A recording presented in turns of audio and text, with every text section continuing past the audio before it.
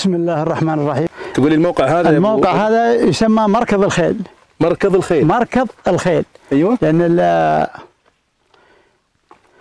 الأتراك لما طلعوا مع عقبة ساقين في إحدى الحملات اي وقفوا هنا وكانت تركض الخيل في هذا الموقع. وكان الموقع أطول من كذا ولكن ال- المعدات عند فتح العقبة وكذا هدمت بعضها وكذا. لا يزال بقايا الجدار وكان مستوي وكان جدار أعلى من كذا بقيت آثاره بقايا.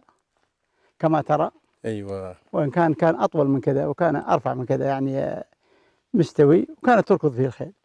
يعني كان زي ما تقول مكان تمرين. مكان تمرين للخيل بعد ان طلعت من نص العقبة. إي. بقي عليها نصف. أيوه. فهي بحاجة إلى راحة. فيريحونها وفي نفس الوقت يمرنونها بحيث إنها كمان عضلاتها ت- أيوه.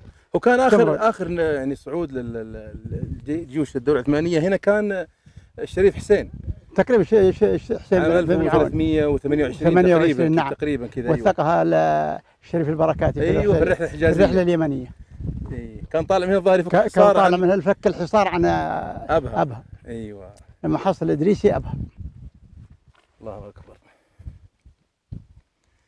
الحمد لله الحمد لله. صرنا ننعم الحين في الدولة اللهم لك. الحمد. اللهم نحن الآن في نعمة وفي أمن. استقرار. استقر الناس. اللهم لك لله الحمد. الناس في نعمة الآن لا حدود لها. لا شك. لا شك. مصداق قوله تعالى وإن تعدوا نعمة الله لا تحصوها. لا شك. اللهم له الحمد. أيوه.